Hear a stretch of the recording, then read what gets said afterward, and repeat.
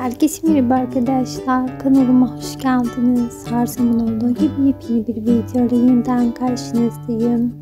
Sizler için bir Kalay ve e, sevilen dizi oyuncumuz olan Oktay Kanlıca'dan yeni görüntüler paylaşmak istedim.